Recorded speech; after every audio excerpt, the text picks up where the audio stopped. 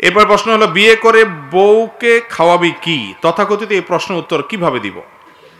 খুব দরকারি প্রশ্ন ভাই। বিয়ে করলে বিয়ে করার কথা বললে বলে বিয়ে করে বউরে কি খাওয়াবি? এই কথা বললে যুবকরা চুপ, আর কোনো কথা বলার থাকে না বেচারাদের। বিয়ের খায়েশ ওখানেই মিটে যায়। তো এই প্রশ্নটা তো একেবারে অবান্তর বা অমৌলক নয়। এই প্রশ্নটা তো কিছুটা যৌক্তিক। কারণ হলো ইসলামও তো আপনাকে বলেছে, আপনার স্ত্রীর মহরের টাকা, ভরণ পোষণের ব্যবস্থা না থাকলে আপনি বিয়ে করবেন না, আপনি রোজা রাখবেন। আপনি কি রাখবেন? রোজা রাখবেন। নবী করিম সাল্লাল্লাহু সাল্লাম বলেছেন মানিস্তাতা আমিন কমল বা আতাফালিয়াতাজাওয়াজ যে ব্যক্তির বিয়ে করার সামর্থ্য আছে, পয়সা কড়ি আছে, সে বিয়ে করে যেন অমাল্লাম ইয়াস্তাতে, আর যার এটার সামর্থ্য নাই ফালাইহি বিসওম সে রোজা রেখে নিজের চরিত্রকে হেফাজত করবে।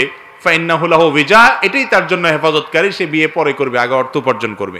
তাহলে বোঝা গেল, যুবকরা যারা বিয়ে করার জন্য অস্থির, আলহামদুলিল্লাহ, তারা পয়সা করাই কামায়া অন্তত মহরের টাকা জোগাড় করেন আর স্ত্রীর ডাল ভাতের জোগাড় করেন। তবে হ্যাঁ এটা ঠিক যে মুরব্বীরা বা অন্যরা যে বলে, বউ খাওয়াবি থেকে এই খাওয়ানোর যে প্রশ্ন উঠে, এই প্রশ্নটা আমাদের সমাজে মনে করা হয়, খাওয়ানো মানে হলো লাখ লাখ টাকা লাগবে বিয়ে করতে, বিয়ের পরে আবার হাজারে হাজারে কাতারে কাতারে দিতে হবে। এটা না হলে বলে যে বিয়ে করার যোগ্যতা ক্ষমতা হয় নাই, এটা ভুল। বিয়ে করার কতটুকু ক্ষমতা থাকলে বিয়ে করতে পারবে? ইসলামের শরীর অনুযায়ী মহরের সর্বনিম্ন একেবারে কোনো রকম মহর কিছু দিতে পারলেই হলো। আর ডাইল ভাত খাওয়ানোর ব্যবস্থা থাকলেই সে বিবাহ করতে সক্ষম। ইসলামী শরিয়ার দৃষ্টিকোণ থেকে বইয়ের ডাল ভাতের জোগাড়টা করতে পারলেই ফিনান্সিয়ালি অর্থনৈতিকভাবে সে ব্যক্তি বিয়ে করতে সক্ষম ধরা হবে।